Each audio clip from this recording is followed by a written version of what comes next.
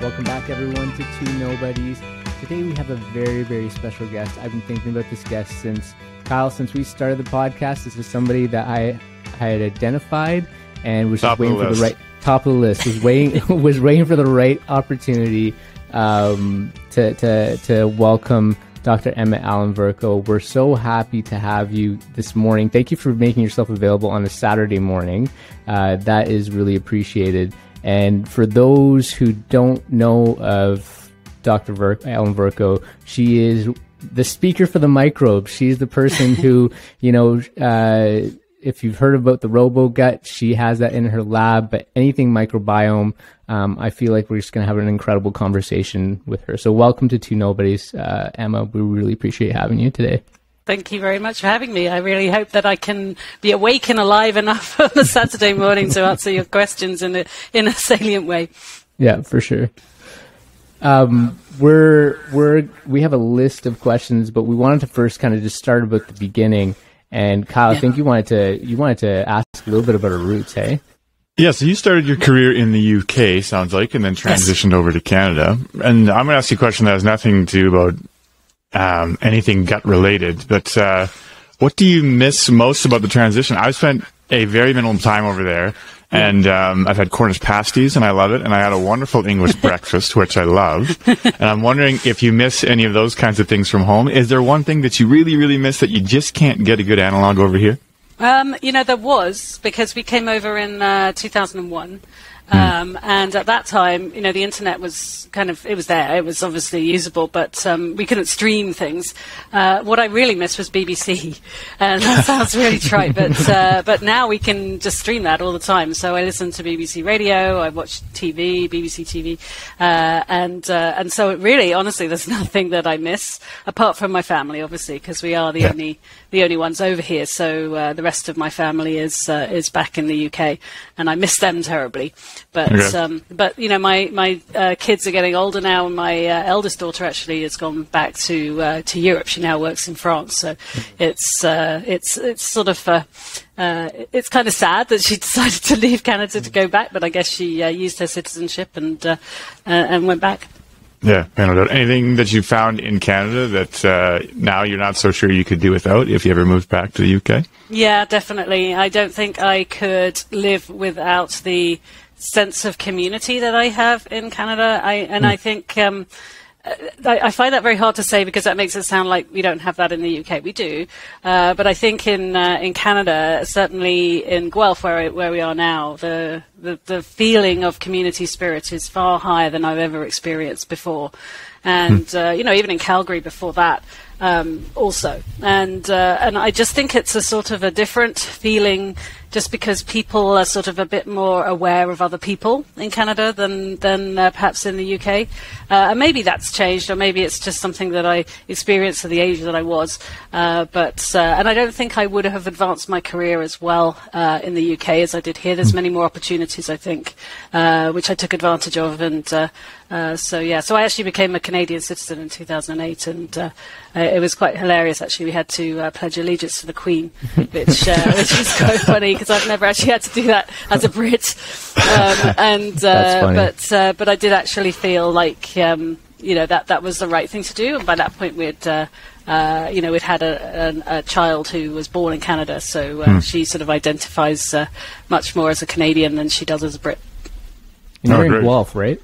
Yes, yes. That's a. Guelph. I mean, I so I'm from Ontario. Study at the University of Waterloo. Very familiar with that area. Yes. Guelph's just a beautiful, beautiful place. Yeah, this time of year especially with all Yes. the leaves turning, it's it's beautiful. Although today it's a bit rainy and awful outside, but uh, you know we can't have everything. Do you know on uh, on Thanksgiving Day here it was uh, 25 degrees, and uh, we hadn't actually closed. We have a little backyard pool, and uh, we hadn't closed it because we sort of anticipated a little bit more warm weather. Mm. Um, and so we were actually swimming in the pool on Thanksgiving Day, which was like I couldn't imagine doing that. It was it, so that must be climate change. I don't know, but uh, but it, we benefited from it this year. Emma, I don't know if you know where we are at right now. We're in Edmonton, so yes, I yes, thought so. Yes. We don't we don't get this kind. Of, this is the big difference I find ever since moving to Alberta is the shoulder seasons are so much shorter mm-hmm. and not as welcoming. Although Kyle, we've had a pretty good fall. Hey, like it's been. I love fall. Yeah, yeah. I mean, I've I've only really spent most of my time. Uh, I moved to Alberta when I was eight years old, and so that's really what I know best. But I love fall. But it's absolutely it's like you. you uh, there can be years where you're lucky and you'll get a month of fall. You know, six weeks maybe um, at the very outside two months. But yeah, yeah, it's usually it can be as low as two weeks or something like that, and, and then the snow just hits and then it's mushy and. You Yes. Um, strong wind and then the leaves are gone the next day. It's just, yes. it's, just, it's just brutal. Yeah, well, I, we lived in Calgary for a few years and uh, oh, yeah. loved Calgary. It was a beautiful place, but uh, the weather really, you know, that's the one thing as a, as a Brit coming over to Canada, everyone tells you that the weather is just so terrible in Canada. It's not true. Mm. I think it's a little bit more extreme. But actually, uh, we benefit from beautiful summers here and uh, mm. a little bit of cold. But the uh, the winter in Calgary was a little bit extreme for my liking. I was just like, I can't imagine in Edmonton. I'm sure it's worse.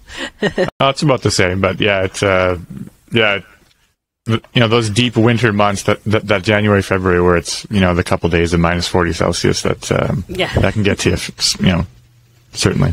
Definitely. Emma, from a from a, a, personal side, my interest comes. You know, I, I think I'm going to mention my wife's a naturopathic doctor, so we talk about like, you know, gut flora and poop and all kinds of stuff all the time. Uh, so there's that. But my but the the link to Guelph actually is my dad. He did his master's of science in microbiology at Guelph. And so ah. I was like, ah. oh, this feels like a little bit of a, a connection that way. So fantastic. Um, yeah. But I want to I want to get a sense of the beginnings of of um, you know not only your research but like did, did was this sort of an extension of anything from you know growing up or were you eating dirt dirt by the handfuls or what? What was that like? No in fact i i, I consider the my sort of childhood and my microbiome through my childhood anyway to be pretty terrible.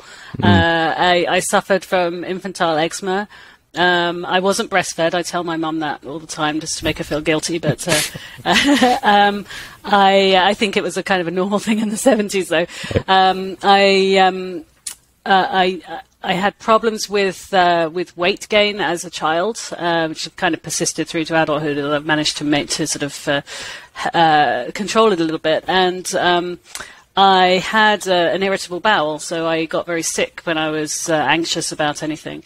And, uh, and and if I think about it, I also took a lot of antibiotics, mm. and that that was not, you know, I'm not blaming my poor parents. I think my mum was, uh, you know, every time I got a sniffle, I was down the doctors, and, and in those days, the doctors would say, "Oh, here, just take these antibiotics." Right. So I do wonder whether my gut has kind of been ravaged by that. And actually, um, a few years ago. Um, uh, I have a colleague, Rob Knight, who runs something called the American Gut Project.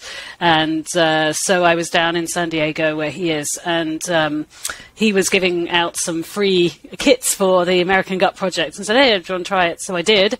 Um, so I got my results back, and uh, I mean, I'd already looked at my gut microbiome, but, uh, but this was an opportunity for me to look at it in comparison to other Americans. Mm-hmm. And, uh, and I found, you know, I, I, kind of fit there right in with all the other American, you know, Westerners.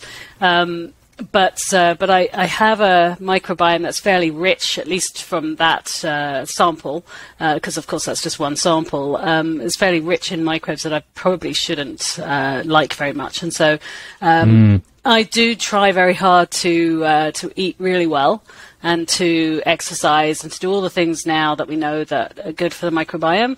And uh, but I haven't recently checked my microbiome to see if I've made a difference, and that's something that you think, well, why wouldn't I do that? I've got all the, the tools at my uh, at my disposal to do that, and I think it's just because I'm so busy is one of the mm. things, and and also I'd have to ask one of my students to do it, and I think I find that that's a little bit, you know, it's probably it's going a bit above and beyond.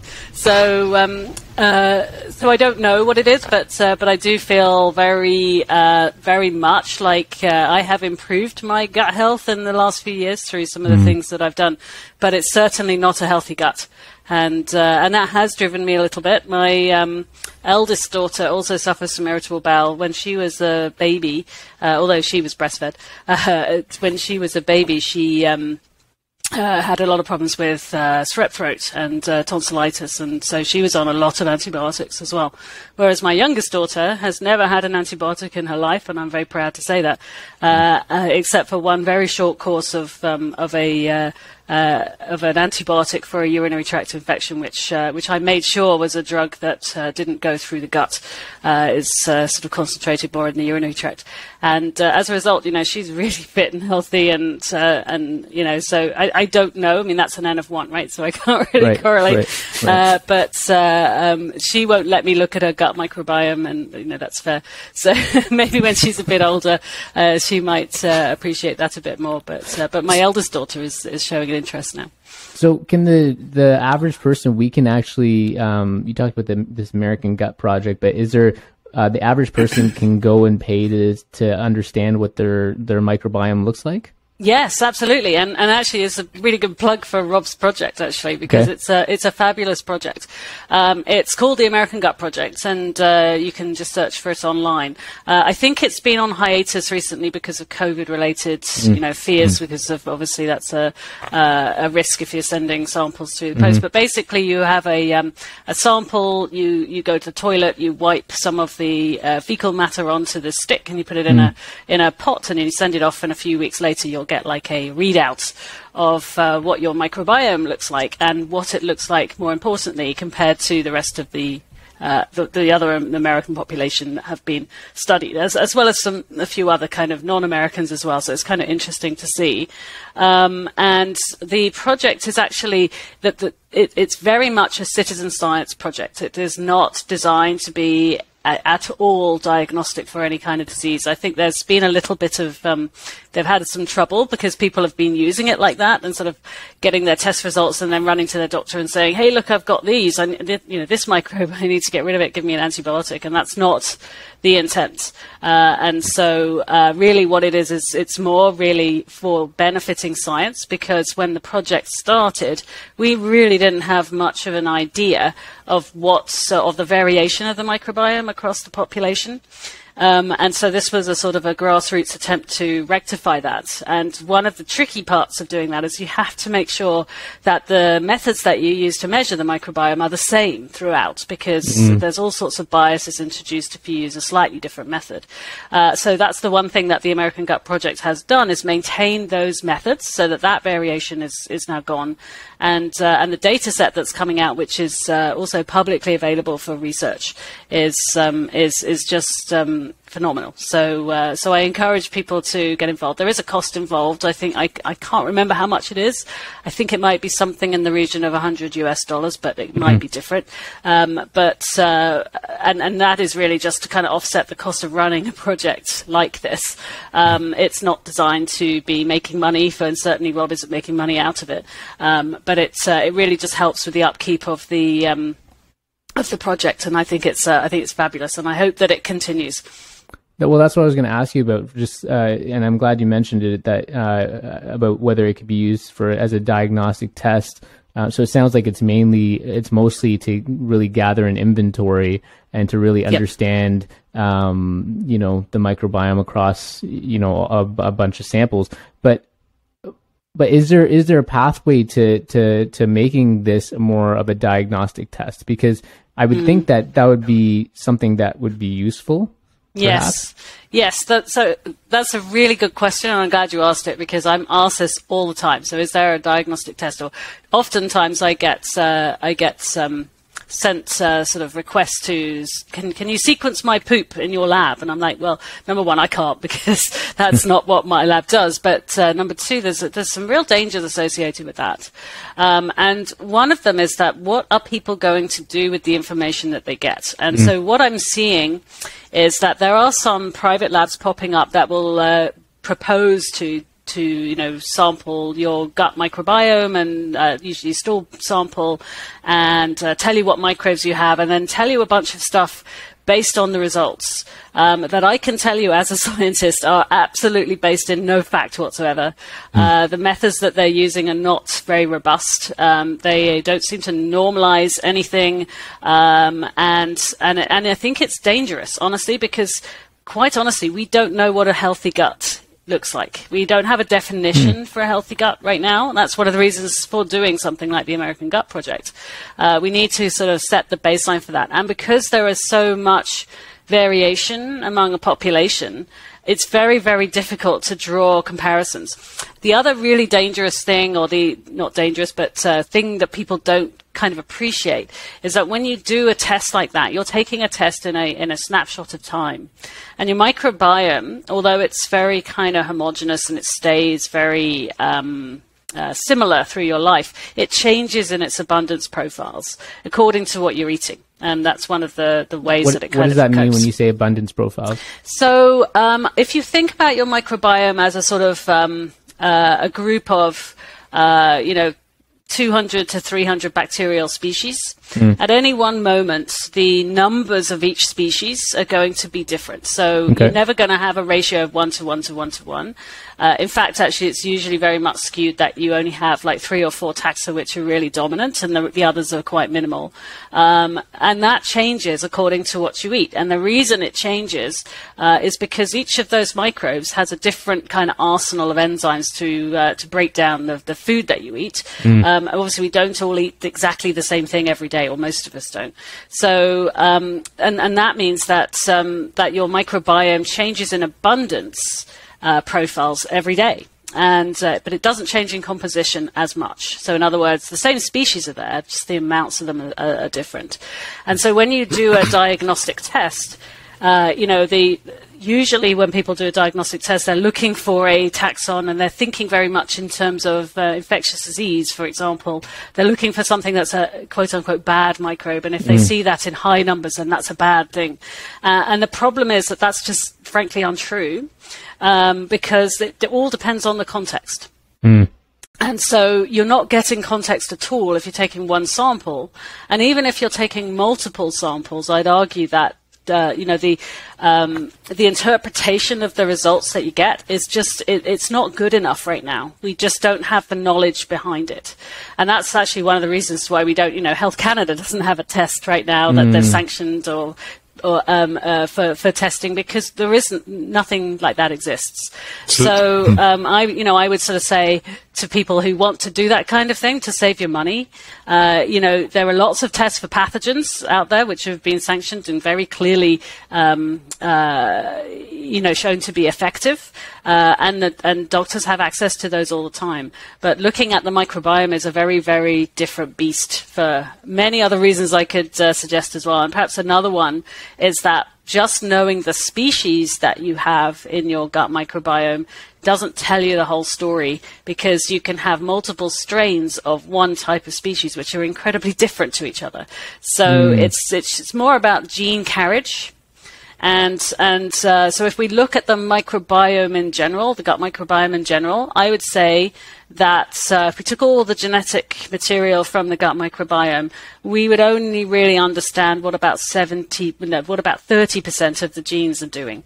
70% we would call dark matter uh, from the point of view that we recognize that they're genes, we recognize that they code for proteins, but we have no idea what those proteins do. And so again, it kind of makes it really tricky to uh, to kind of translate that to health, and uh, it will be quite a few years before I think we're we're at the point where we can get a test for um, uh, for microbiome right. health. Yes, I was going to say. I mean, it sounds like it's almost impossible to establish what a baseline would look like for somebody's uh, gut microbiome. Like, here's what your standard. It's like um, yeah. you could maybe find out, you know, what those 200 or 300 species are that sort of exist within you. But anything beyond that, with any form of consistency, at least for even a, a diagnostic um, um, diagnostic purposes or um, you know overall gut health would be almost impossible at this point. Sounds like. Yes, absolutely. You know that the thing that there is hope though, because I don't want people to sort of think that oh, this is just like a waste of time. Why are we why are we even bothering? Um, one thing that we have found is that um, there is some what we call functional redundancy in the microbiome, and what functional redundancy is is just a sort of um, it's a kind of complicated term, I guess, but what it means is that you have multiple microbes within your gut microbiome that carry out the same function. Uh, some of them might do it more efficiently under one set of circumstances than others. Uh, but essentially, you don't just have one microbe that does one thing and another microbe that does another thing. Uh, a lot of mm. the hmm. processes are shared. And so, what does that mean? That that means that uh, if you have a healthy gut microbiome, anyway, uh, you have resilience, which means that if something happens to your microbiome, say you get a terrible case of um, norovirus or something like that, you're not going to completely lose all of your microbiome. It will come back, and um, and it will recover. And that that resilience, that uh, response to perturbation, is one of the measures of resilience. So. Um, one of the things that, that we're very interested in, especially in my lab, is not what the microbes are, it's what they're doing. It's, we always say this is what they're doing that's important. And microbes are not kind of static entities that just kind of sit there and churn out, you know, a bunch of stuff they they're very responsive to their environment. They're very they're very intelligent uh, from uh, you know in a mm. different kind of intelligent. They don't have brains, obviously, but uh, to me, I think that, that they're incredible little creatures that uh, you know just a sing- single-celled organisms for bacteria, uh, for example, that uh, that can sense their environment and respond to it incredibly well. And so when you have a bunch of microbes or a bunch of bacteria, for, for example, that can do that, what you end up with is a very finely tuned ecosystem that can respond really well to the environment that it's, that it's uh, within. And so, from the point of view of a diagnostic test, I would predict in the future that the sorts of tests that we're going to see are not measuring what's there, but we're measuring what they're doing. So we're looking at the, uh, and one of the things, one of the ways to do that is to look at what we call the metabolic output. So we look at the metabolites that have been produced by the microbes, and and not worry too much about who made them right? Because some microbes, uh, you know, there, there, might be multiple microbes making the same molecule, uh, but uh, the overall effect will be just, you know, will, will be the important thing. And that's what your body is going to respond to. And that's also important from the point of view that, um, for the most part, your your body is is uh, is in sort of balance with your microbiome. Uh, you know, you have a very kind of finely tuned immune system to keep those microbes out of the sterile parts of your body. So, um, how do the microbes communicate with you? Uh, it turns out that it, it, it seems to be through the molecules that they make because those molecules are easily absorbed by the body, and some of them have amazing effects on physiology. Uh, that's very well established. Uh, some molecules, especially ones called short chain fatty acids, one of them is butyrate, and everyone's talking about butyrate right now and how important butyrate is. Well, we know that butyrate has a very important effect on physiology, but it's one of many thousands of molecules that are produced by the microbiome that we know nothing about.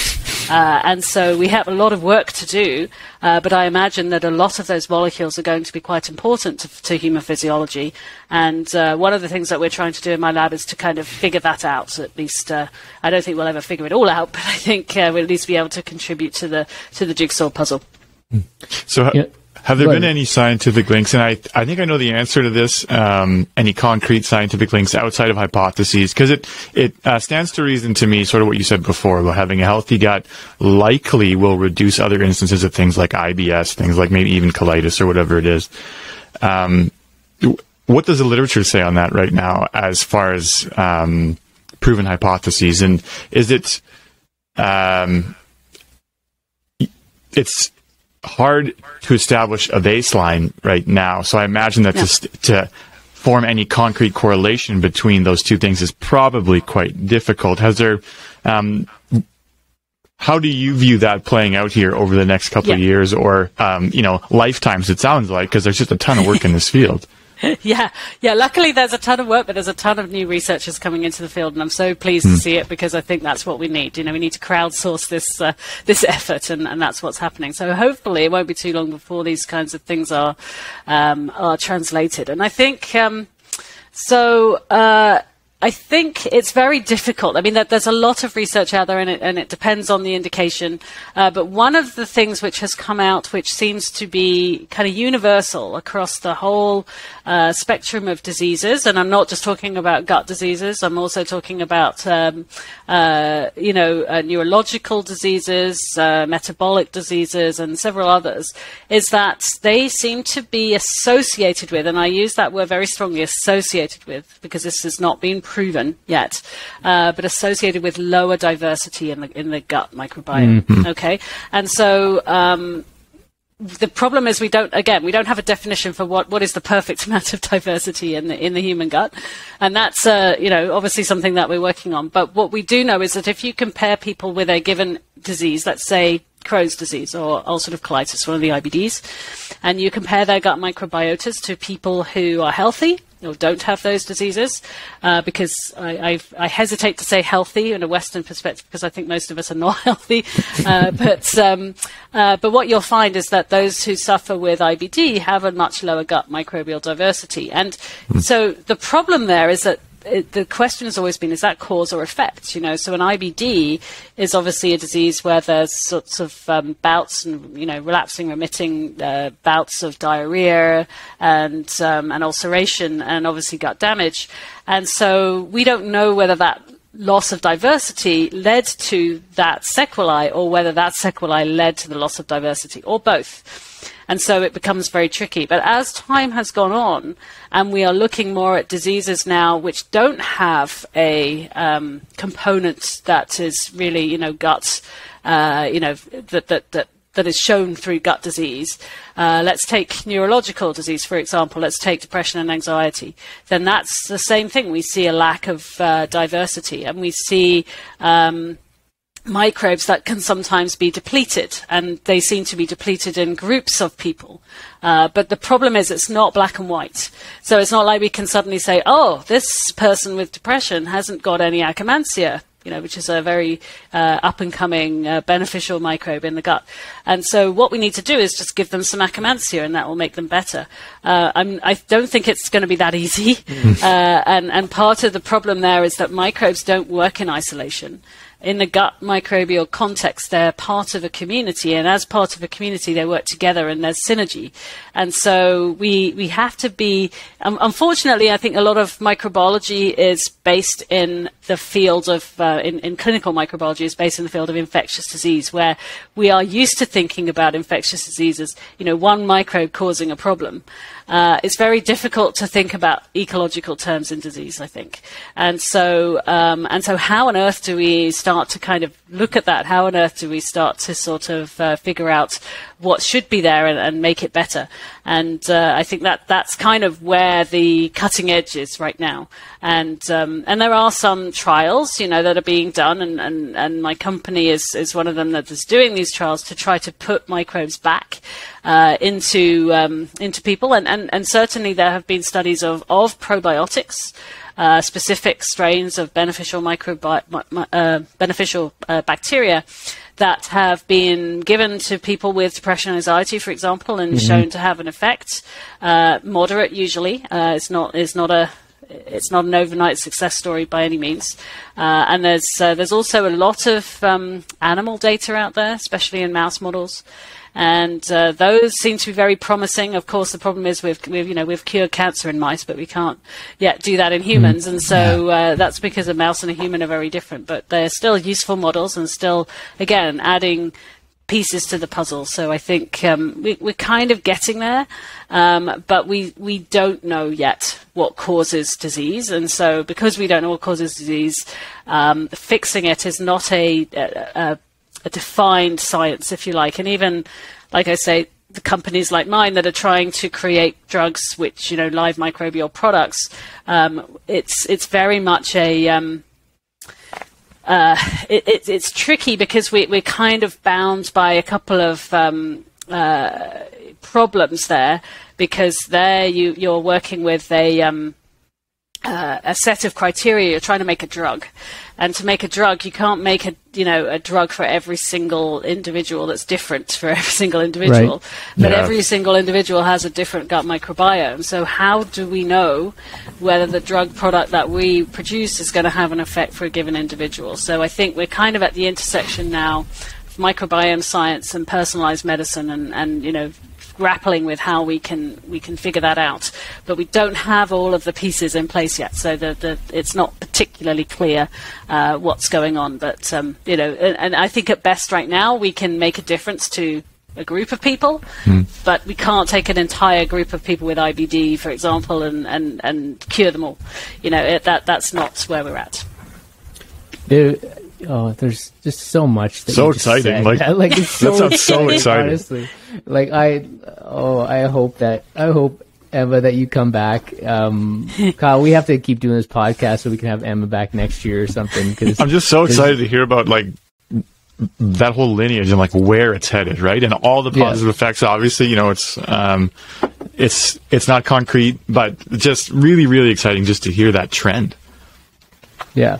Um, I, I wanted to, I wanted to come to the piece on diversity because uh, it's really really interesting when you said that um, you know maybe there's a there's a assumption out there that um, one microbe does one thing as a res- uh, as opposed to what you've said is like there's this interdependency and they they work together in this kind of community. And and you can't just um, you know if you see a lack of abundance in one microbe you can't just all of a sudden introduce um, you know that microbe and expect everything to kind of just work out because it works in this community. And my head just goes you know t- to go outside the human microbiome is like that's almost like a good model for society right? Like it just seems like like diversity in the microbiome it seems to be a really important characteristic of a healthy functioning gut um, what's to say that that's not an important aspect of our society, right? Like that's where my head was going. Is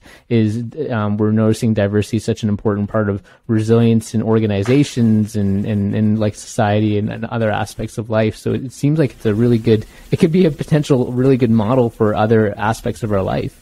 Yeah, yeah. You know, it's funny you say that because I have an analogy that I use when I teach this stuff, and uh, and it's it's the it's the Starbucks analogy. So you know, if you have a, a, a new city and you just populate it with Starbucks on every corner, then you're all, all you're going to end up with is a, a community of people who like you know who, who can drink coffee, but they can't do much else. Uh, if you provide other coffee shops or other types of uh, beverage stop shops, even uh, then uh, then you're going to diversify what uh, what people can try, and you're going to end up with a much more kind of um, varied uh, population. And I think uh, so. You know, it, it is very important. And I suppose another analogy that we could draw is um, is the is actually in the agriculture business. You know, we have, in, especially in Canada, swathes and swathes of land which are just uh, colonized by one plant that we're raising, and and what we're seeing as a result of that. Um, and you know, I, I can't speak too much to this literature because I don't know it as well as I know my own. But uh, but certainly the soil microbiome is depleted as a result of that. And what what is that going to do? What is that Right. doing? And and we know just as little about, probably even less about the soil microbiome than we know about the gut microbiome. And yet we've been gradually destroying it. And so what is that going to do for us? I think it's going to end up making um, plants which are less resilient to disease uh, because the um, the microbiome of the rhizosphere, which is the area around the roots of a plant, is actually really important to the health of a plant, and we didn't even realize that uh, until fairly recently. You know, the, the damage is done.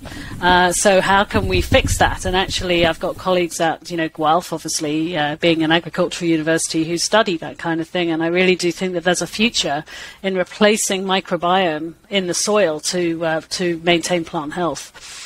So it's a kind of analogy for that as well. Yeah.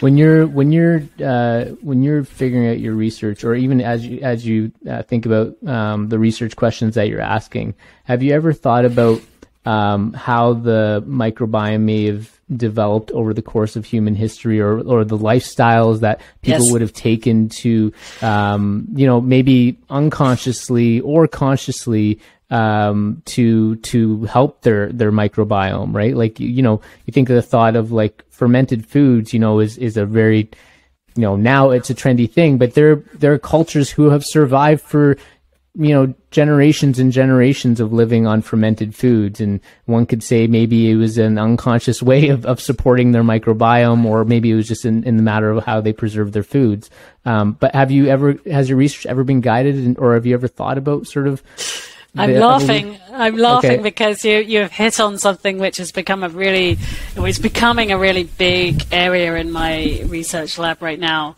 uh, and that is the idea. Uh, so bear with me a minute. I'll take you the, on the journey, and then you can see where I'm ending up.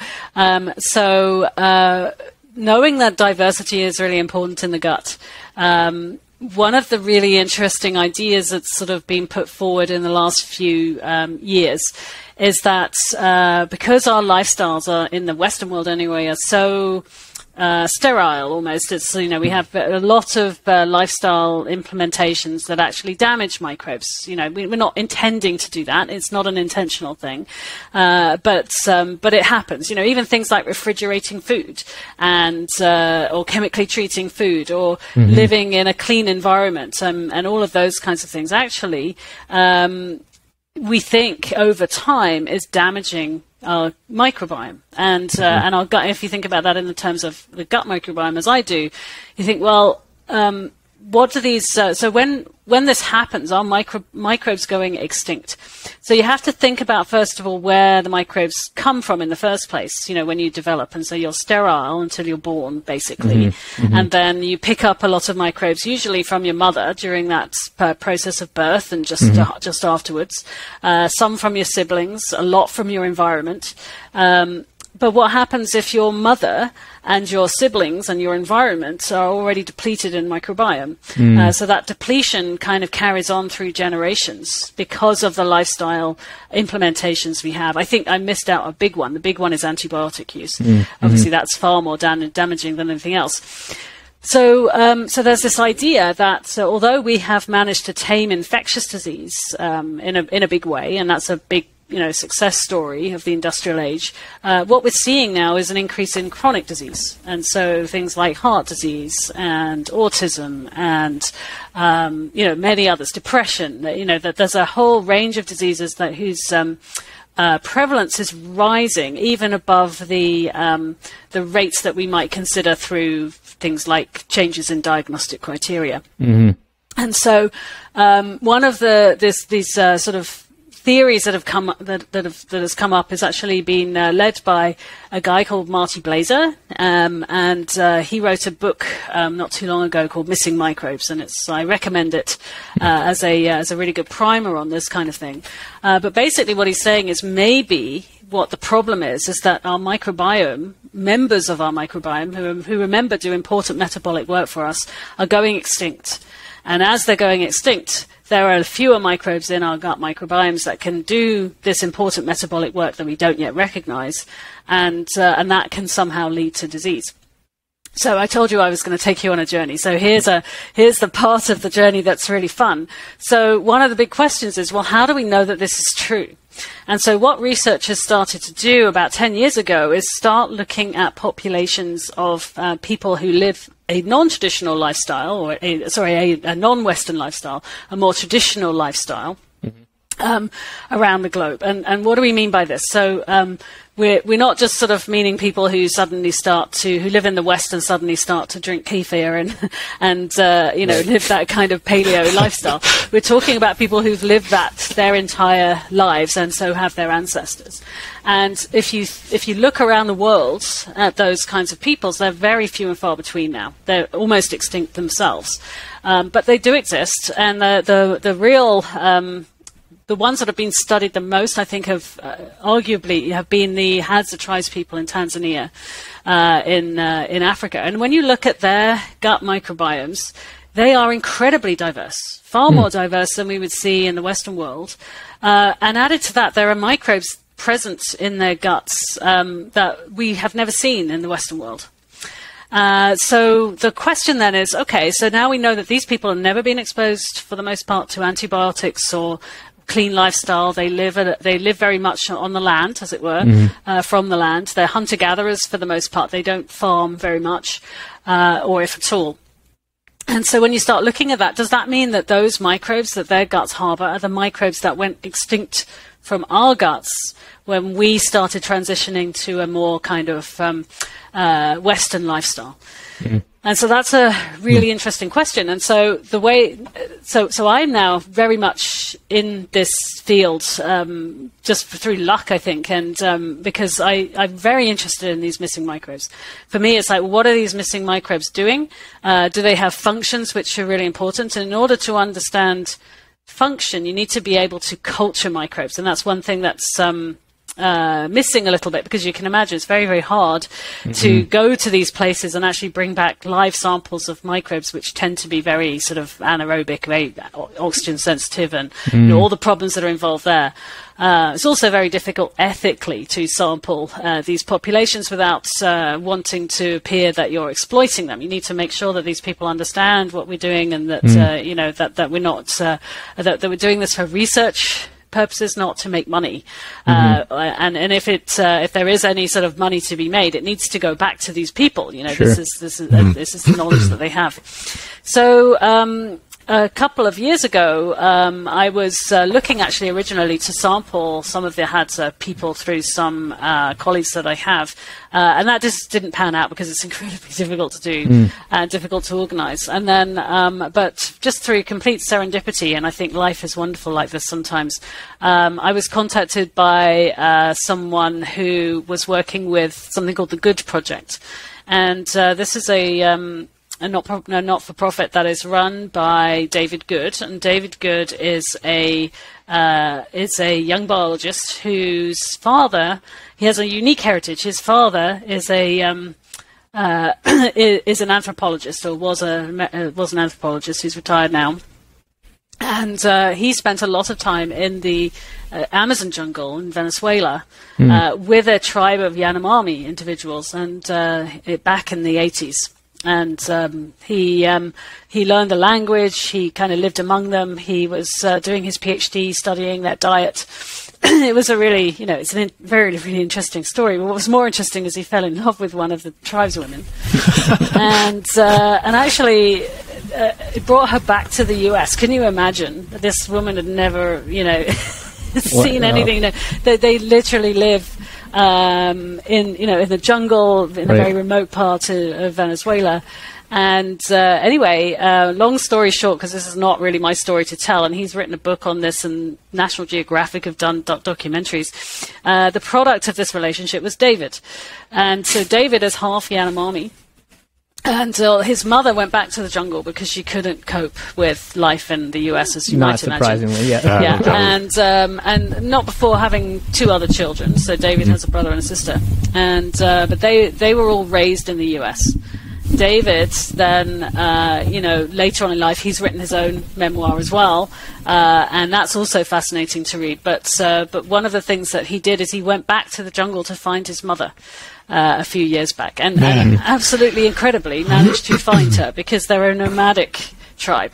Mm-hmm. Uh, so it's not like he knew where he would find them. It was wow. all done through word of mouth. So he reconnected with his um, Yanomami family in the jungle, and uh, because he's a biologist now, he's like interested in the microbiome. Mm. So um, in 2019, he did an expedition, and uh, and at the time he was sort of saying, you know, we we got talking to each other. We'd, we'd made contact by that point, and I said, you know, it'd be great if we could bring back some live poop samples from the jungle uh, with all the you know right permits in place. And because David, because of David's heritage, and because he's a Venezuelan, he has Venezuelan citizenship, uh, that makes it a lot ethically a lot better. I mean, he's done this in the right way. Uh, and so we sent him into the jungle with some, you know, tubes and sampling kits, and uh, and, and uh, he had this sort of like little generator thing and a solar powered um, uh, cool box and basically collected. You know, the, the, his family, who's, who who uh, agreed to give samples, were just just thought he was completely mad, but uh, sort of picked onto a banana leaf and he brought it. He brought it all back, and it was a very you know. One day we'll write a story about this. I hey, David, just one quick favor from you before you go. Yeah. Here's all this exactly. yeah. Oh, so, man. well, actually, you know, a plug for David. He uh, when he was back when, when he uh, went on this expedition, he actually had a film crew follow him, and he's uh, uh, put together a documentary, and uh, that's cool. now been entered into the Sundance Festival. So I really hope Oh, that cool. it's, uh, it gets some traction there because uh, what he's done is frankly incredible. So, you know, again, long story short, the samples finally made it to my lab. Uh, for a very convoluted route, you can imagine the amount of permits I needed and everything. Uh, anyway, they, uh, they they got into my lab, and, and we had no idea how successful we would be with culturing these things. But we have this uh, this RoboGut platform that, that you mentioned, uh, which is a really good way of making microbes from the gut feel at home in a lab environment. Uh, so we basically created a diet for the uh, for these microbes. Uh, from looking at what the Yanomami eat, which is mostly tubers and um, root vegetables, a lot of fiber, plantains, things like that. So we actually ordered a lot of those um, products from Amazon, but not the Amazon, and uh, made these diets, put them in the RoboGut, grew the microbes, and astoundingly, we've managed to recover quite a lot of bacterial diversity, including some of those microbes that are missing microbes that we've never seen in the Western world before. Wow. So now we have a real opportunity, and this is really new work. Um, you know, we haven't published it yet, but this is a real opportunity now for us to start thinking, well, okay, what are the microbes do? Because it's not about what they are, it's what they're doing. And so we have a really good opportunity now to do that. And, and, uh, and just to sort of finish off that story, two anecdotes. One of them is that I then took David on as my PhD student. So he started with me in September as a PhD student, which is awesome. Yeah. So uh, very, I'm very pleased about that because he actually will get to work with you know his family sample. This is what he's interested in, and this is you know beneficial for all. And the second thing is that I've been working as well with Alex Kostic at um, Harvard University at the Joslin um, Center for Diabetes there.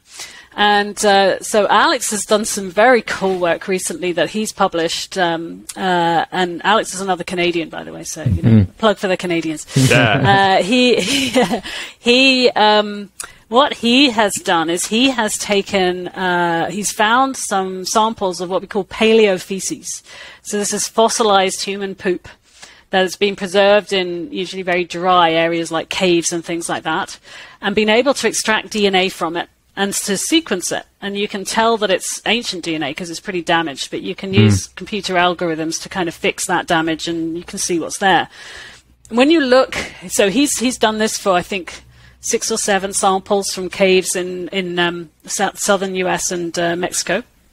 And what he found was uh, was microbes which were very very different again from what we see in the Western world.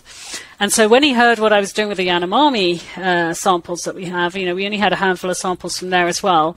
But we, we carried out a process which we call metagenomic sequencing, which is basically we take all of the DNA in the sample and we sequence the hell out of it, basically, and then ask a computer to put it all back together uh, on itself, and uh, you can then sort of see what's there. And when Alex, who's the, you know, he's the, um, he's very good with bioinformatics. I'm not, uh, but when he compared the, um, uh, if you compare the Western world, so the, all the metagenomic samples we have from the from uh, the Human Microbiome Project, for example, compare that to the ancient samples, they were very different. And when you compare the Yanomami samples to the ancient samples, they were almost identical. So Wow. it really Whoa. feels like what we have uncovered here is a bit of a time capsule Yes. that might be able to bet, to let us see in real life terms, because obviously paleofeces is long dead, uh, but now we have the opportunity to look at these microbes, these live microbes, and their functions in the context of um, uh, human evolution. and so, uh, so fingers crossed. We've just put a grant together. It goes in on Wednesday, so hopefully we'll uh, we'll get some funding to really look at this. But I think this is a real opportunity to find out what these missing microbes are doing. How old are these ancient samples? Sorry. So they're around about 2,000 years old. Uh, they, I think, up to 2,000 years old. And actually, there was a paper. It's funny because uh, I, I was just sent this paper this morning, and I thought this is so prescient. But there was a paper that was published this week in Cell. Um, and what they did is they also looked at ancient paleofeces, this time in Europe. Mm. And um, and they were able to reconstruct not only the diets of uh, you know ancient they were salt miners and that's how they managed to preserve the feces because they found them in the salt mines and obviously there's a lot less water in the salt mines so a lot less damage to the DNA. And uh, again, they see very diverse ecosystems and very different to modern day Europeans. And uh, actually, they also saw the first evidence for uh, that these that these people 2,000 years ago were drinking beer and eating blue cheese because you can see the microbes that were used to uh, ferment those foods. And so, you know, another really important facet. I think we can learn so much from looking at these kinds of samples. Unbelievable. So, so if I'm hearing correctly, the ancient samples are not much different from like when you talk about the tribe in the Amazon, which is like fairly modern day sample. Like you said, it's, Yep. just, it's just something that you guys have just uncovered recently. There's very little difference. yes. And so, and so, um, not to jump to a conclusion, but am I, it, can one interpret it as something has happened in in our lifestyle or diets in you know whether Western diets or Western lifestyles that may have altered the microbiome potentially for the negative? Could one maybe Yeah. arrive almost at that conclusion? Yeah, I mean, well, that's the that's the immediate conclusion that we, that you'd want to arrive at, but we have to be very careful there because if you think about, uh, I don't want anyone to think that industrialization has been a bad thing because you know we've made amazing technological advances because of it, um, but we've also changed our lifestyles to the extent that we're seeing you know big differences. So it, it that there's I think it's to do with. Uh, um, I think. I think what we've got to think about is that it, it may not be necessarily negative, uh, because there are some microbes that we see in the Western world that we don't see at all in the in the ancient um, samples Which the. Yanomami, which seems to be beneficial. And, Okay. and the big one there is something called Bifidobacterium. And Bifidobacterium is something that is actually a, it's a species that many uh, um, or, or, genus, and and many species and strains of that genus are used as probiotics. Um, uh, Bifidobacteria are what we call lactic acid bacteria. Uh, they produce lactic acid as a um, uh, as part of the fermentation of lactose, and lactose comes from milk. And what's interesting here is that um, one, you know, one of the Western practices we do is we drink milk, we eat dairy products, and that does not happen uh, in the Yanomami. They don't do that. That's uh, pro- in fact they find that disgusting. so the only milk that they would um, uh, consume would be breast milk from, uh, you know, as an as an infant. And so it's it may be uh, that what we're seeing is um, you know loss of potentially beneficial microbes. I really, you know, I hypothesize that, but we haven't proven that yet. Or it may be that the Western microbiome has just evolved to cope with the different dietary um, uh, sources that we have. I mean, the Western diet is way more diverse than the Yanomami diet. The Yanomami diet is way higher in fiber. So it's you know you, it's difficult to say what's best, um, and I think you know the best microbiome is the one that can utilize the most types of substrates and produce the most types of beneficial metabolites. And of course, we don't have a definition for that, as I as I mentioned at the beginning. So it's very difficult. So you know what you know one of the things that um, that people say to me is like, oh, well then what I want, I want some of those Yanomami microbes. I'll just re- recolonize my gut with the Yanomami microbes. And I'm like, that is the last thing you want to do, uh, because number one, your your immune system has not developed uh, alongside this ecosystem, so you could be doing yourself untold damage. Uh, you could cause all sorts of problems. And number two, you do not eat a Yanomami diet. Uh, and so if the microbes are tuned to the diet that you eat, then, um, you know, unless you start just sort of eating tubers and plantains all the time, then it's probably not going to do you much good.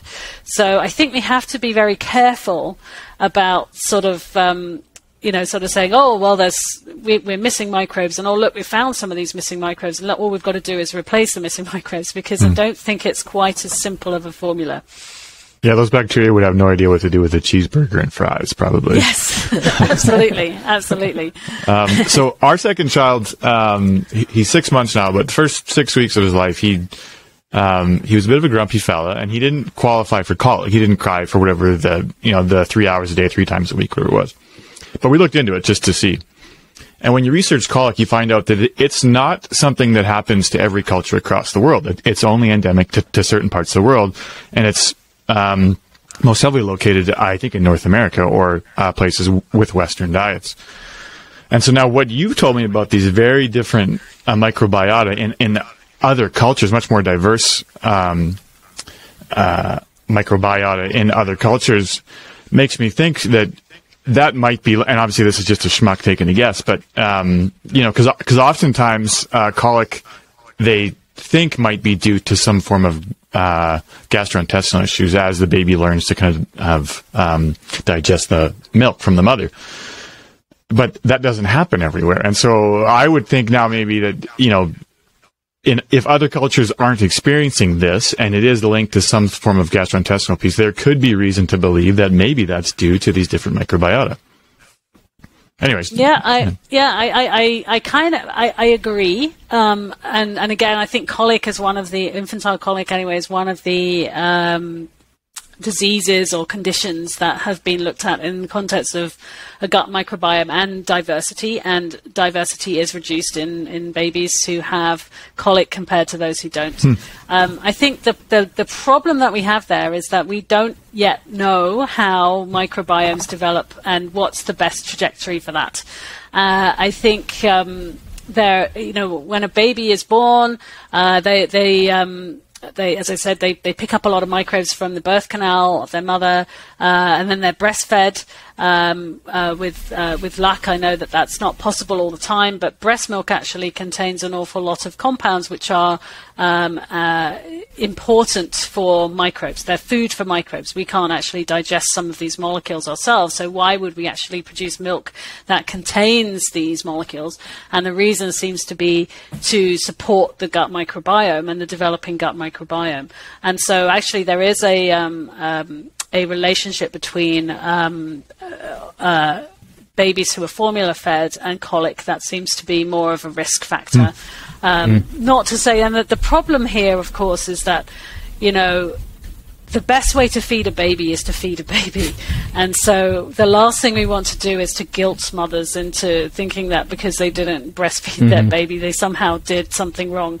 But I think at the same time, we do need to recognize that breast milk is best. Um, and uh, and there are some things that can be done now with uh, formula companies are actually starting to introduce what are called these human milk oligosaccharides into formula. Although they're not doing it in a particularly broad way. You know, there's there's hundreds of human milk oligosaccharide compounds, and they're they're adding one of them into formula food, and and so that's better, but not quite there. So I do think there's a lot of room to improve formula milk. Um, and um, and I think that that will potentially uh, potentially help the situation with colic, for example. Um, the other thing, of course, is that um, some babies are born by C-section, and that mm-hmm. again is through no fault of the mother. Um, uh, but when but we do know that those microbiomes in those babies that are born by C-section are often not the same as you would see, or not, or, or more similar to the sort of skin microbiome um, than uh, than they would be to the vaginal mm. microbiome as you might expect. Mm-hmm. And there's even some um, work being done to, uh, you know, if a baby is born by C-section, to take a vaginal swab from the mother and kind of swab it all over the baby to mm. kind of cover them with the microbes, which does seem to result in some colonization with vaginal microbes, but but it it's not. It, it's again, it's not a. it's not completely successful, and if you think about when babies are born vaginal, vaginally. Um, birth takes a long period of time, mm-hmm. uh, to the chagrin of most mothers, including me. Uh, but those babies are swallowing microbes that entire time mm. as they're traveling through the birth canal. And so that seems to be a very important um, uh, process and, and period of time, uh, kind of critical period for, for microbes to be picked up uh, from a baby um, uh, to uh, from a mother to an infant. And it's not just in it's it's all mammals, right? Um, because um, some mammals is uh, uh, I think my favorite story is the one of the whales, right? So, you know, whales when um, when baby whales are born, uh, how you know that they they latch on to their mother's uh, teats to feed, and that feeding process actually stimulates uh, defecation by the mother, so that they basically get enveloped in a cloud of poop while they're feeding. and uh, you got to wonder why that is. But maybe that is actually a um, uh, you know something something to do with this process, this important process of um, passing microbes on from mother to baby. So I think that in the future, uh, you know, we, we do a lot of interventions around the period of birth and um, and, um, and and the neonatal period uh, ostensibly to help infants, and I think for the most part they are life saving. You know, often C sections are given to save the life of a woman and a child. Um, but we, we can do better if we know more about the microbes that are involved.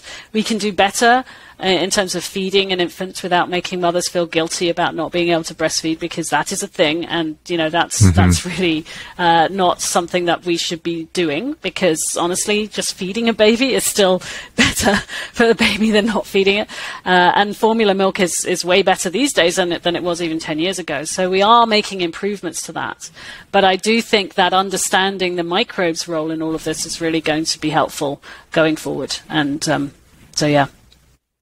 That's a, um, you know, I, my my mind went to again the, how researchers are are guided, um, and you talk about. It sounds like you know there's this intentional process that happens when when a baby moves down the the birth canal of of, of its mouth being open and and you know inundating itself with all this flora and like there's so much to learn by these sort of natural processes that can happen um, in terms of how you guide your research, and that, that's where I was going. But where I was also going thinking about is um, just thinking about how we sustain our our microbiota going forward. We talked about you know the diets and all that, but I, I wanted to get your thoughts on just COVID and and and the effect of of you know obviously you know I'm we're not don't want to get into the the um, the need to have all these infection prevention control measures, um, you know, it's it's clearly important. But I, I, I do think about and I am concerned about the effect of all this on our microbiome. Yeah, I, I'm similarly worried. Um, uh, uh, for a long time, I was telling people, you know, what are the what are, people always asking what can I do to maintain my microbiome? And I was saying, throw away your hand sanitizer, right? Because that's probably it's a really it's it's not a good thing. You you want to be encouraging your skin microbiome. You you want to be doing all these things. However, you know, that's not advice I would give right now because right. you always have to balance these kinds of things around the risk, you know, risk versus benefit. And right now, it's too high of a risk. Uh, COVID is a is a real thing. It's a real risk, and I think uh, you know. So so right now, I would say, okay, I use hand sanitizer, and I think you have to sometimes when you enter certain businesses and things like that. And I don't bulk at it. Um, but I do, I am concerned about this, and and um, what can we do to fix this? Well, I think in COVID times, the, the, the reality is we have to, first of all, uh, you know, make sure that we avert the risk of COVID, get that out of the way, and then, and then, you know, uh, and then move on from there. I, what I very um, sad about, you know, almost is like I see little children right now, uh, you know, toddlers even uh, playing. And I saw one in a park actually in the summertime, and uh, uh, she was uh, just toddling along, just playing playing around, and then she came to a post. It was just a post with a bin stuck to it, but it had like a little uh, sort of box on it that looked a bit like hand sanitizer to her. So she pretended to go and put her hand on it and then sort of rubbed her hands like this. And I'm thinking mm-hmm. to myself, she's conditioned to do this. Yes, yeah. And that's that is a you know right now it's a good thing, right? Right. But it's also frightening because this child is going to grow up with this fear of, of germs, as it were, um, and and a fear of COVID is is valid. Uh, a fear of germs is not, mm-hmm. right? Because uh, or a fear of microbes is not, and I think uh, that's the big problem here. And I am very concerned about it. I don't know how we can fix that apart from through, uh, you know, education. This is not the time to do it. Uh, I think we have to wait for the COVID period to pass. We have to wait for people to hopefully get vaccinated and uh, and sort of uh, you know take the risk away, and then we need to start having conversations again about how we can keep our microbiome healthy. And so it's going to be years again. I think we've set ourselves back years in doing mm. this because the general public is. Um, is nervous, right? I mean, mm-hmm. COVID is a is a is a germ, it's a virus. You can't see it, and mm-hmm. and uh, and so uh, people are scared, and and I don't blame them. And so it's very difficult to have conversations with them about how some microbes that live on your skin are actually protecting you, how some microbes that live in your gut are actually you know sentinels and making sure that you don't get sick. And uh, to them, that's such a co- it's a foreign concept that I think we were just starting to get you know move the conversations around to get people to think about microbes in a different way. And then COVID hit, and as I said, put us back probably many years. So um, it's a it's a problem, and um, and I'm sure that this won't be the last pandemic. I have to say, you know, that's uh, there's another very sort of sobering thought is that uh, this could happen again in a few years' time.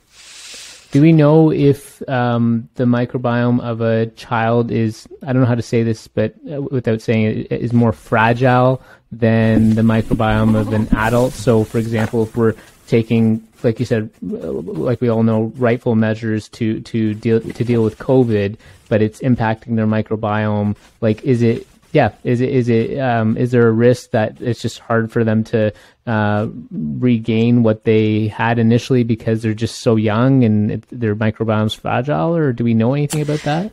Yeah, you know, then that's a that's another worrying thing. So we don't know again too much because uh, we're still very much in the infancy of understanding this. But what we do know is that the microbiome of a child um, there's a there's a window for development, and that window for development seems to be between the ages of birth to three years.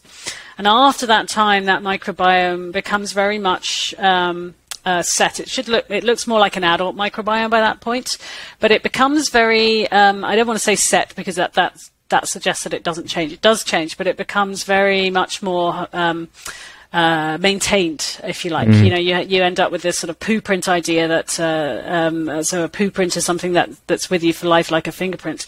Uh, it's not quite like that, but it is kind of close. That you do get colonized by microbes that stay with you for life, in terms of uh, the species content and things like that.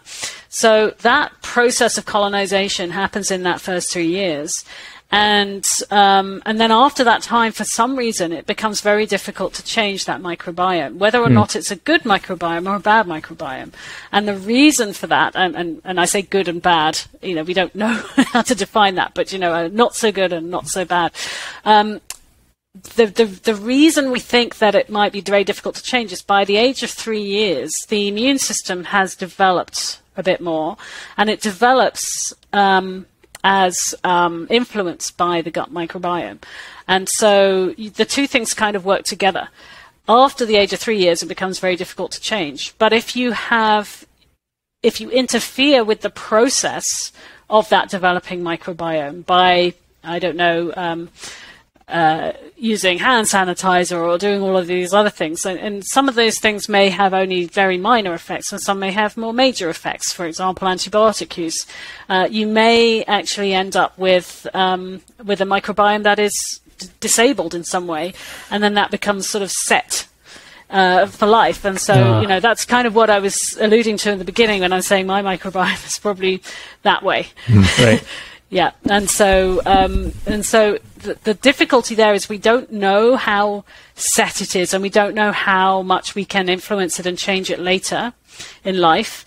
Um, the, I mean, I think the good news is that um, I think that, that it can be changed, but I think it's not just a sort of like a one hit, uh, here, take this probiotic and everything mm-hmm. will be better. But I, I, think that we need to understand uh, more about diet and things like that and how we can uh, maintain a microbiome uh, that, and we don't understand that. Um, right, right now, mm. but yes, I mean, it does concern me in COVID times that we have a generation of children now being brought up who are basically being kept um, for good reason, uh, away from the world, so they're right. not being colonized by the right kinds, whatever they are, the right kinds of microbes in a in in a sort of natural way, and uh, and yeah, that is a concern.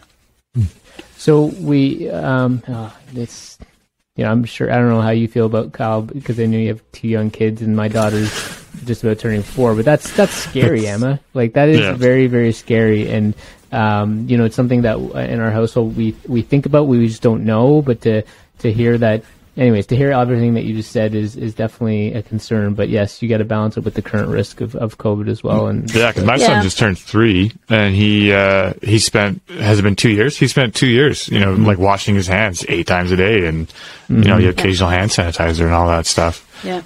So what what I would also say is that there are some things that you might be able to do to kind of mitigate some of those issues, um, and and the big one. Um, yeah, a colleague of mine at the University of Calgary actually has written a book, and and and uh, in collaboration with uh, another colleague at uh, UBC, has written a book called um, "Let Them Eat Dirt." I think it's called, uh, or something like that. And uh, and the idea is that uh, that what we should encourage kids to do is to go play outside, go get dirty, right? And uh, you know, roll in it, eat it, do because a lot of soil microbes are actually very similar to some of the microbes that we find in the um, uh, in, in in the gut. Now, of course, we have to be a bit careful about that because we shouldn't ever encourage kids to go play in the same place that the cat uses as a toilet or anything like that, right? Uh, so that there has to be a bit of uh, you know we can't just rub it in their faces. Right. But uh, uh, by the same token, um, one of the really interesting things that has come out of the research um, uh, more recently is the idea that indoor living is actually one of the things that uh, prevents um, microbiome development. And so, actually, if you can get kids to go outside for some part of every day and just have them interact with their environment, that's actually very, very beneficial for them. Um, and then, then another uh, study showed that if you have an animal, um, like a pet, uh, that goes outside, like a dog or a cat or something, that that is also beneficial because they bring those microbes in, uh, for better or worse. And then as well, having a sibling. Right, so if you have a sibling, siblings share germs. That's uh, you know can be the bane of a parent's existence, but actually they're also sharing not so uh, uh, uh, dangerous germs as well. They're sharing uh, beneficial things. So there are things that we can do, um, I think, to to try to mitigate it. But right now, as I said, we have to teach our kids that uh, that it's dangerous, you know, not to wash your hands if you've been in a public place. And um, uh, I think around the house, you don't need to worry quite so much, right? If it's your house, if you know it's just you guys in it. Um, but uh, but certainly, you know, you go out to a public park or something like that, you just don't know at this point, and it's a it's frightening. It's frightening. But I think you know, to a certain extent, um, the the savior in all of this is going to be vaccination, and uh, and uh, you know, if if you've been vaccinated, you don't need to worry so much about it, and we don't need to worry uh, uh, so much so much about uh, COVID, and then you know we can we can sort of get back to a normal lifestyle. It's just such a shame that there's such resistance to vaccination. I mean, that's a whole other story, Yeah. but uh, you know, it's a uh, it's uh, that's a real shame because I think people are, are, are lacking in understanding of what vaccination could actually do for us. Yeah, that's right. I know, I know you're uh, Emma. You're an N of one, but uh, what does your diet look like? If you've said like your microbiome, my, your microbiome wasn't very good to start with, what are you doing? And I'm sure people are curious, like, okay, what does Emma do? Yeah, so I do a few things. So um, one of the studies I've done in the past is uh, is, and other people have as well, is looking at artificial sweeteners, emulsifiers, colors, things like that. Uh, all of them, and I, you know, in my own lab, we've looked at artificial colors, uh, for example, azo dyes, and all of them seem to have a detrimental effect on the microbiome. And so. Um, when the study came out about artificial sweeteners now, oh, I think about over 10 years ago, um, that sort of showed how detrimental artificial sweeteners were. I used to be I used to be a diet coke uh, addict, and I just went I stopped cold turkey, and uh, in fact now I no longer drink any sugary beverages at all. I just drink uh, you know uh, carbonated water or water, and um, and I have pulled every single artificial food substance out of my diet.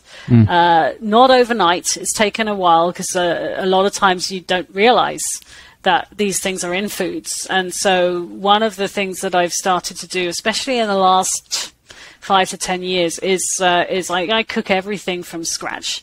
Um, and um, and actually, my youngest daughter, who's at home, uh, she gets an allowance, um, and the allowance is so that she can help me out by cooking, and so she's actually learning all these skills as well. And we basically figure out a, um, a list of menu that we're going to do for the week, and then we buy all the ingredients and then we make it all from scratch. Um, the other thing that I do is I eat a lot more vegetables now than I ever have in my life. I am not a vegetarian. I would like to be vegetarian, but my husband wouldn't. Uh, there's just no way. I'd have to be making like, different meals, and so um, Right. uh, you know, uh, so but but we have like joined, for example, a uh, a farm share. Uh, in Guelph, and so we pick up vegetables, fresh vegetables every week in the summer, every two weeks in the winter, and it's whatever's in season. And so we're always drowning in vegetables. the moment it's squash season, we've just got so many. I'm going to make some butternut squash soup later this week. Um, but um, uh, you know that so that's very important eating lots of vegetables. Um, and uh, fruits as well. So um, I used to um, you know buy smoothies and fruit juices and things from the supermarket thinking that's a quick way of just getting my five a day. It's it's it's very misguided. Uh, juicing is not what you need to be doing because you actually need the pulp of the fruit uh, The and fiber you need part, the yeah. fiber yeah. So otherwise, you're just taking in the sugary part, which is not the beneficial part. So um, uh, one thing that I, I love um, is blueberries. And so I Yeah. buy a punnet of blueberries every week, and I basically eat them like can like candy, um, which is yeah, they're they're amazing, and Yeah. it's such an incredible food, so high in fiber and polyphenols and all sorts of really good things. Um, but otherwise, you know, I, I haven't touched a McDonald's. I, I, I avoid fast food like the plague. Uh, that w- that wasn't something that uh, that that's again happened in the last ten or so years. Before that, it was just like you know, as a young parent, it was anything I could eat whenever I could, whenever I got the opportunity, because it was just you know, life was too busy. So avoiding that kind of pressure to eat eat quick. Uh, there's plenty of things you can cook from scratch quickly, which are not full of preservatives and you know other things. Um, and then another thing that I avoid, um, which is, is interesting in Canada actually, is this is another difference between Canada and the US, is um, carrageenan. So carrageenan is a thickener that uh, actually I think it comes from seaweed or something like that. So it's thought to be natural, quote unquote. Um, it's a very big molecule, and they use it to thicken things up. It's not used in the UK, as far as I can tell, much, uh, and Not in, certainly not in like plant plant based milks over there in the UK. uh, I don't know about plant-based milks because I don't Okay. drink those, so I've never Okay. checked. But uh, but here, for example, in Canada, your cream uh, and your like sour cream and Yeah. things like that are all full of carrageenan. And that's actually cheating because they're thickened that way, and they're not just you know the natural uh, the fats that, that are thickening them. It's just a, a way to kind of make them. That. I don't see that happening in in the UK, um, and so. Um, carrageenan I, I, I worry about because um, this is a molecule that when it's break when it's broken down, uh, one of the molecules it makes is called poligeenan, and poligeenan is actually a chemical that we use in the lab to induce um, inflammation in, in rats and mice, and so. Um, you know, the proponents of carrageenan will say, well, it's such a stable molecule, it won't break down in the gut. But what they don't understand is that your gut microbiome is chock full of microbes that have incredible biochemistries that can do things you have never dreamed of, and uh, probably breaking down po- carrageenan into poligeenan is one of them.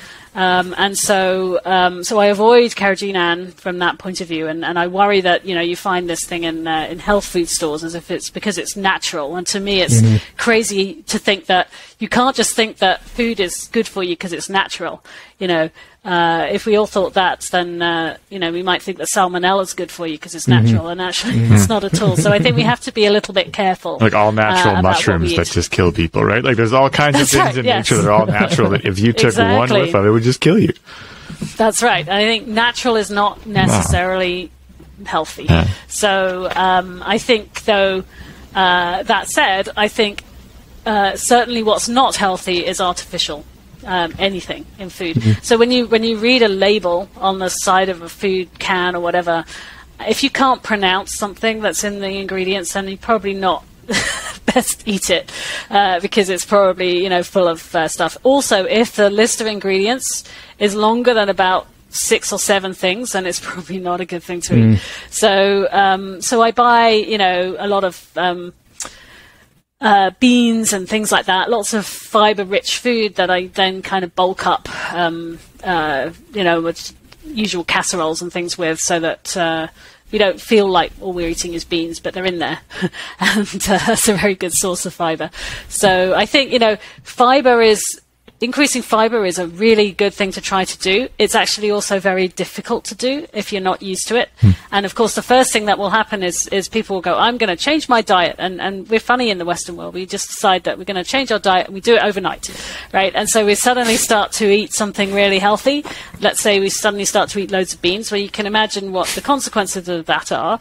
And so we then we think, oh, well, healthy eating is just uncomfortable eating. It makes me fart. It's you know, mm. it's it just makes me bloated, and and that's not true. If you give yourself time and your microbiome time to deal with it, then uh, I mean, the reason it that adapts. you're getting yeah, the reason that you're getting gaseous is because some microbes produce gases as a result of their um, uh, their metabolic processes. So they're mm. eating the beans and producing gas. And there are other microbes that eat the gas but they take a little bit more time to come up after, uh, you know, it's oh. more than an overnight thing. So if you if you ate beans for a week, you would probably find that you'd have a very uncomfortable, if you ate nothing but beans, uh, very uncomfortable few days, and then things would settle back down again. So, um, so I think it's all about, um, you know, trying to keep diversity in your diet, trying not to do, never fad eat, like fad diets kill me. They just like I can't believe some of them. They're just and they're all like you know um, based on complete rubbish.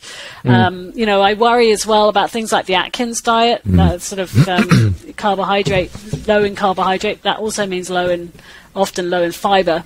Mm. And um, and high in protein and, and microbes in the gut. If they if they eat fi- if they eat fiber, we call that something called saccharolytic fermentation. They tend to make beneficial compounds from it, uh, these mm. molecules, these metabolites. But when they eat protein, because protein is, has nitrogen in it, there are a lot of compounds that they make that also have nitrogen in it, which are not so nice, not so beneficial. Mm.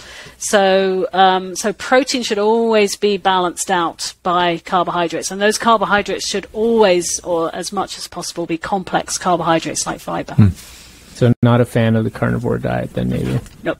well, if you look at the track record no, for all those fad diets, like wasn't there the war on fats in the 70s and 80s and everything? It was like no yeah. fat, like all fats are bad, and obviously that's not true. And there was a war on carbs, and you know it's it seems to be so extreme, none or all of, and of course no carbs is bad, all carbs is bad, and so it's just that's um you know that uh, track record for fad diets is not looking so hot. So maybe just ignore all of them.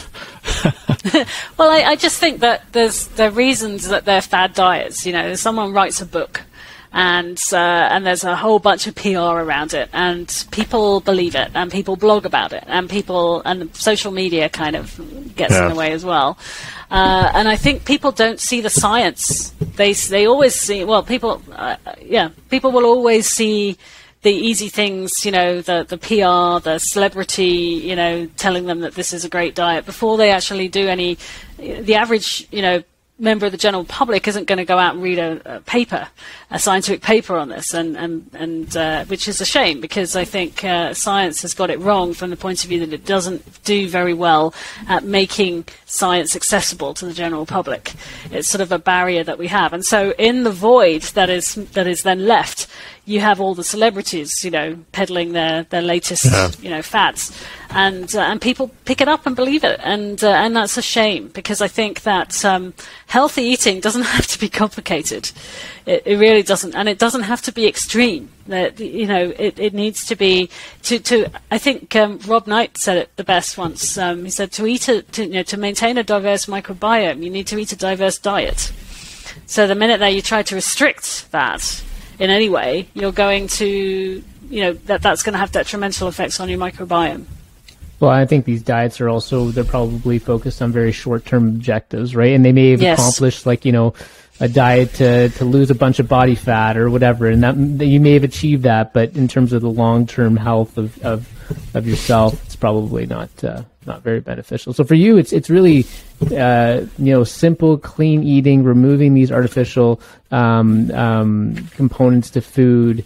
Uh, is is sort of is sort of the focus, and and and I know we're we're getting here to almost an hour and a half, but I just wanted to ask you really quickly about so you know should people be not afraid but concerned about like let's say they had McDonald's a couple nights in a row, or, or, or you know, how quickly does the microbiome adapt, and, and, and, and, and what does that resiliency look like? Like, do people have to be concerned about this? You know, I think if you if you ate McDonald's like once in a once in a while, you're probably not going to do too much damage if you've got a healthy microbiome to start with. Okay. Um, because you, as I, this is where the resilience comes in. You know, what's going to actually end up in your colon, which is where most of your beneficial microbes are, after you've eaten McDonald's, is very little. And so it's almost like a starvation for your gut microbes uh, mm. when you eat something as highly processed as a McDonald's burger and fries. Um, but if you just did that, you know, once in, in a in a little while, then that's fine. If you did it more than twice or three times a week, I would be concerned. Mm. Um, so you, unless you tempered it by sort of saying, okay, I'm going to eat this McDonald's, but I'm also going to eat this can of beans, you know, and uh, or something, uh, then, then, maybe that's not quite so bad. But but really and honestly, I would be concerned more because we don't know what's in those foods. You know, they taste mm. delicious, but they're probably because they're full of all sorts of uh, artificial things that we really don't know. We've only really just started scratching at the surface of what a lot of these artificial food additives actually do to the microbiome. Many of them have been tested, obviously, for safety, uh, mm-hmm. but they've never been tested for their effects on the microbiome. So the safety is acute safety. You know, does it, is it going to kill you if you eat it? Mm. Um, versus is it going to cause a slow decline of your microbiome? Those are two very different questions. And so, um, so you know, I chose, as I said, not to eat McDonald's. And it's quite funny. My husband, he still is tempted, and so he'll wait till I go away for a conference, and uh, and then I'll come home and I'll find McDonald's wrappers in the bin, and I'll, I'll have some questions to ask him. But uh, but over COVID, of course, I haven't been travelling, so he hasn't had any McDonald's, and uh, he, he, says he hasn't missed it. Well, so uh, you maybe think you do a uh, better job of hiding that. You'd think. You'd think. Yeah, yeah. That, I'm just very good at. yeah. Oh well, you know that's. Uh, yeah, he's he's got to work on that a little bit, maybe. Uh, I um, I get it. Every now and then, a little burger. Ooh, yeah, nothing wrong with that. Yeah, yeah. Um, Emma, maybe to wrap up, you know, we always have our, our sort of uh, questions that we ask guests, but I, I do want to hear a little bit about uh, the company that uh, that you're leading here, NuBiyota, if you don't mind telling our listeners about that. Yeah, sure. So um, uh, back, uh, well, 10 years ago now, uh, a colleague of mine uh, in, in, medicine uh, contacted me, and she was doing uh, at the time, she was an infectious disease doctor, and she was working a lot with uh, patients who had a disease called C. difficile infection. So, C. Clostridioides difficile is a is a microbe. It used to be called Clostridium difficile. It causes a horrible kind of diarrhea, and it's a result of um, you only really get this infection if you take antibiotics. This type of antibiotic associated diarrhea. So the antibiotics basically clear out the microbiome and allow the uh, Clostridioides difficile to grow, and when it grows into high numbers, it actually produces some toxins that start to uh, cause diarrhea, and especially it's a nasty disease. And by the way, I should just say because I don't want anyone to sort of think that anti- that I think antibiotics are a bad thing, because it must sound like that from what I've been talking about. But antibiotics save lives, and I think that they're important to take if they are prescribed in the right way. And these days, they really are prescribed in the right way. Uh, but but one of the risks that um, that you get from uh, from taking them is that you can end up with a C. difficile infection. And so um, one of the treatments for C. difficile infection is actually something really disgusting called a fecal transplant, which I'm mm. sure you've heard about. So mm-hmm. you basically take poop from a healthy individual and you give it to a sick individual, usually by way of an enema. And there are lots of problems with that. I mean, the thing is, it works really well to treat C. difficile infection, but the risks involved are incredibly high, as you can imagine. And how do you go about making poop into medicine? I mean, that's just uh, there's there's a lot of problems with that. It's such a, uh, a difficult thing. Your donor needs to be screened for all sorts of diseases. Mm-hmm. Uh, what happens if they are screened and then they subsequently eat a bad burger just before they get sick? They donate. You know, it's, mm. it's, it's all sorts of problems. We can also only screen for what we know, mm-hmm. and there's a lot of unknown things in stool. So, for lots of reasons, she wanted to improve on that. So she asked me, "Well, you know, Emma, can you just like because she knew that I could culture a lot of microbes that uh, that other people have a lot of trouble with uh, from the gut. And uh, so she said, "Can you just make me a cocktail of microbes that we can put together to give to these C. diff patients?" I said, "Yeah, why not? That sounds like a fun thing to do." So that's exactly what we did. Uh, so these are pure microbes that we then grew up and we gave as enema to at the time a couple of patients and we called this concoction RePOOPulate, which um, which I have to credit a colleague at Western to uh, for giving me that name. It was it was great, um, but it worked and it worked really well. Uh, the, the, the issue was that Health Canada then said, you know, we were doing this as a um, trial as a probiotic, and Health Canada then then said quite rightly, well, actually, it's not really a probiotic in the um, uh, strictest definition of the term, and so really this should be um, regulated as a biologic drug, which of course is a very different kettle of fish. Mm-hmm. Uh, so the kind of the, the, whole project sort of died for a, a few months because we were like we, we don't have the capital to do that sure. kind of thing. Yeah. Uh, but then uh, a couple of angel investors got in touch with us uh, based on the paper, and um, you know without going, you know, to, to, make a long story short, we basically created a company with them to develop this sort of idea and this approach as a drug product. So this is no, this isn't a probiotic that we're making. Uh, we actually, so NuBiyota is now grown. Uh, we started in 2013, and it's, uh, you know, we have. Um, a uh, production facility now in New York, and we've also got the research hub here in Guelph. And uh, what we're doing is we're creating drugs which are mixtures of up to 40 different bacterial species that we have picked that work together, talking about the synergy of microbes that work together to, to make different um, metabolites. So, uh, what NuBiyota is trying to do is to create these as drug products. And, and the, the new part of this is that, that no one has really done this before, then there wasn't really a regulatory path to doing this. And so uh, we've kind of having to rewrite the book on that. Uh, so at the moment, um, Health Canada and the FDA have us create each component of that drug product, each of those species that is in our drug product, as a separate uh, drug product. So that's 40 drug products in one. Wow. So you can imagine it's quite a lot of work. Um, but uh, but I think it's it's for the best. I'm actually really pleased that we're taking the this approach because you know we're held to a much higher safety standard than mm. a probiotic would be, mm-hmm. and also um, you know we we have to test these when we when we run our clinical trials and we have several underway. Um, we have to be very very careful about the kinds of responses that we get. The safety profile has to be there, um, and uh, and I think that that's the responsible way to do it, right? So I I, don't balk at that. I think it's important. I think, um, and I do think that there's the, the, the, the, future of this kind of therapy is is really there. Um, uh, we're not we're not we're not there yet, but I do think that there is a future in this, and so uh, there's a lot of questions that we're trying to answer. But we're actually using the patient cohorts that we're doing our clinical trials in to answer some of those questions, and so hopefully we'll keep refining things over the years, and uh, and we'll be able to uh, make something so no one ever has to have a fecal transplant again. Uh, we can do this, and the other great thing about it is that uh, that the capsules that we're making are orally delivered, so mm. there's nothing going up anyone's bum, which, okay. is, which is a great uh, thing for patients, I think.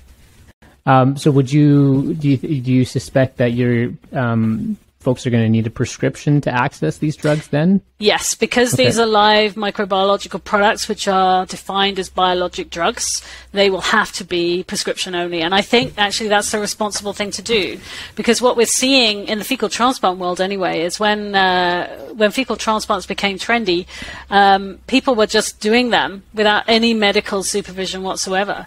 Really? Uh, just yes, just to sort of um, you know deal with whatever whatever ailed them. Uh, there were even some clinics that popped up in the UK that, that was that were doing these kinds of fecal transplants without any kind of uh, real medical oversight. Mm. And uh, and the problem with that is that uh, you know it's my colleagues who in, in, infectious disease who end up dealing with the sequelae of that. Mm-hmm. Uh, one of them told me that once she had a patient come in who'd been given a fecal transplant, and the donor had had been someone who'd recently come back from traveling somewhere in Asia, and basically ended up passing on some horrible parasite uh, to the uh, to the recipient, even though they weren't sick. You know, the, the donor wasn't sick, but the uh, recipient was was already sick, so it was uh, it was a real problem for her to fix. Um, and um, you know, I can understand that desperate people do desperate things, uh, but I really think that um, fecal transplants in, in, a in an environment which is not uh, medically supervised is, is mm. a very very dangerous thing to do. Sure, sure. Um, Kyle, should we get to our final questions here that we asked? Yeah, yeah, sure. Um, so Emma, hopefully you saw the, the, the last two questions. I, I've I've been bad about surprising some of our guests, and then I feel terrible about that. So hopefully you had a little bit of time to think about this. But um, dead or alive, who are five people that you would want to have dinner with? Yeah, I did see that question. I thought it was great, and I actually posed it to my lab as well because I said this is such a fabulous question. This is a uh, a really good uh, dinner conversation. Um, so I can think of definitely four, uh, and the first one would be Stephen Fry who is okay. a uh, British comedian and also kind of philosopher. Um, he's still alive, uh, but and I would I'd love to have a conversation with him. His sentiments on life are just very well matched with my own. Um, mm. He is a, a consummate atheist, um, and I'm you know I wouldn't say I'm a total atheist, but uh, but his views on life just really match mine. But he's mm. just so eloquent, mm. and when he when he speaks, he's he's he's amazing and I just saw him pop up on my Apple Watch as a sort of uh, uh, one of the walk things that they've got going on now. So I'm going to have to go on a walk and listen to him. cool. Um, another one would be uh, Sean Lock, another Brit uh, who recently passed away, actually, which is such a shame. A great British comedian, and just you know, what, actually going back to what you're saying, or what do I miss about Britain? Comedy is yeah. one thing. Uh, I think the Canadians. Yeah, Canadian comedy is better than American comedy. I'll give you that, but it's not quite up there with the Brits yet. And so um, Sean Lock is that's just like the best example I have of, of just that he's such a funny man, and or he was such a funny man. You know, sadly missed, and um, and I think uh, it's some of the best stand-up comedy I've ever seen. Um, uh, and just yeah, so he would be great. I'd love to have a conversation with him. Um, I think if if I could go back in time, I'd love to invite Le- uh, um, Leonardo da Vinci oh, yeah. because he was such a polymath. I would love to have him at a table and say and give him an iPhone and say, "Look what we can do now. What can you do with that?" Because yeah. he was such a, uh, a forward-thinking guy, and uh, and yeah, I would just love to get into his brain because I think he's amazing. Da Vinci has um, the most amount of inventions, right? yes, correct? yes. Yeah. So he yeah. was an artist and all, he was just a polymath yeah. and, yeah. and just uh, incredible. Uh, sort of, um, you know, I think his um, pictures of uh, helicopters, you know, before helicopters even existed, you know, were, were some of the most incredible things. And uh, was, um, yeah, just I think a very uh, unrecognized talent at the time. I was born too soon, I think. Mm-hmm. So, uh, I'd love to speak to him. Um, another person would be someone who is still alive, um, a scientist by the name of Polly Matzinger, who you may not mm. know. So, Polly Matzinger is a, an immunologist and actually has a very colorful past. Uh, she was a Playboy bunny, a carpenter, all sorts of really interesting um, uh, professions before she actually ended up in science, and she didn't do, she didn't go the traditional route at all. And she has an incredible way of thinking that I think is just so she's not mired in ac- in the academic kind of way, and so she does things in a really un, un, you know unconventional, un- unorthodox way, including running her lab. And her big theory, her big sort of um, uh, contribution to science has been something called danger theory. Uh, which is the idea that um, that your body and your immune system when the uh, you know the, the, the consensus or the, the dogma is that uh, your immune system responds to non-self. Yeah, so so it's non-self that is that is seen as dangerous. Well, Polly Matzinger says no, no, no. The thing that's seen as dangerous is anything that's around when the body is harmed in any way. And so it's a sort of a bit of a shift from the sort of dogma. And she has got a lot of evidence to suggest that this is, in fact, um, true. Uh, what I, would love to have a conversation with her because she has stuck by her convictions, and uh, she, even though she has been, you know, the, the immunology field is full of a lot of you know elderly white men who have very high opinions of themselves, and I think she had to fight that quite hard to get to to, to get heard, and um, and and I think that uh, that her her theories have kind of um, have endured, and mm-hmm. uh, um, and I love the fact that she kind of bucked the trend and she kind of um, one of the things that she did that always makes me laugh, and I'd love to do it. You know, the, science is a it still is to a certain extent an old boys club, uh, and uh, certainly in publication and things like that. So a number of years ago, she published some papers um, uh, alongside authors who turned out to be her dogs.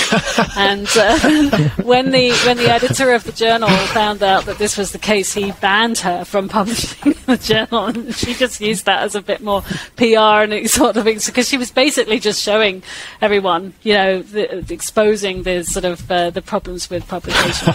so so she would be another one. And then I think the final person is someone who probably many people would invite, and that would be Albert Einstein. Mm. I just mm. think that uh, he was just such a. Uh, he seemed like such a normal guy, honestly, with a you know, everyone says he's got such a giant brain, but I think it was more the way he thought about mm. things.